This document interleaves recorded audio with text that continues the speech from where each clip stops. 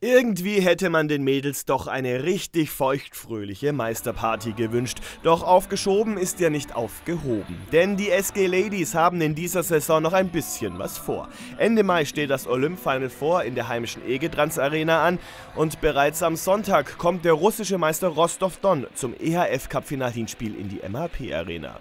Und wer die SG Ladies kennt, der weiß, dass der Titelhunger der Mädels noch lange nicht gestillt ist. Nein, auf keinen Fall. Also wir haben noch zwei Chancen, zwei Pokale zu gewinnen und äh, da wollen wir auf jeden Fall alles geben. Deswegen ist die Meisterfeier leider etwas kürzer und kleiner ausgefallen, als es vielleicht verdient hätte, aber das holen wir nach. Ich glaube, wir wollen die Saison auch gerne zu Null beenden. Also Druck gibt es immer noch und wir haben noch zwei wichtige Sachen zu erledigen. Also ja, in der Gruppenphase gab es zu Hause eine 20 zu 23 und auswärts eine deutliche 24 zu 34 Niederlage gegen Rostov. Zwei Spiele, aus denen die Mädels aber einiges gelernt haben. Ja, es wird hart, es ist eine super Truppe. Ich glaube, da sind wir schon ein bisschen den Untertag.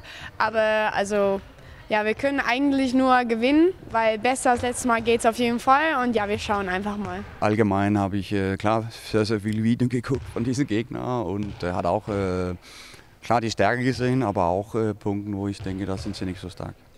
Die SG Ladies gehen sicherlich als Außenseiter ins Spiel, doch das war das Team von Martin Albertsen eigentlich auch schon im Viertelfinale gegen Kuban Krasnodar, das mit fünf Olympiasiegerinnen stark besetzt war. Wir haben in den letzten Spielen gerade in Ludwigsburg gesehen, gegen äh, Kuban und auch gegen Nyköping, dass das Publikum unheimlich viel beteiligt ist.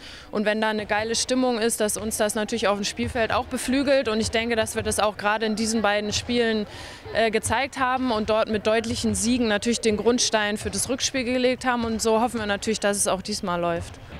Deutlich über 3000 Zuschauer werden am Sonntag spätnachmittag in der MAP Arena erwartet. Wer den frisch gebackenen deutschen Handballmeister in der Außenseiterrolle gegen Rostov anfeuern will, Tickets gibt es noch an der Tageskasse.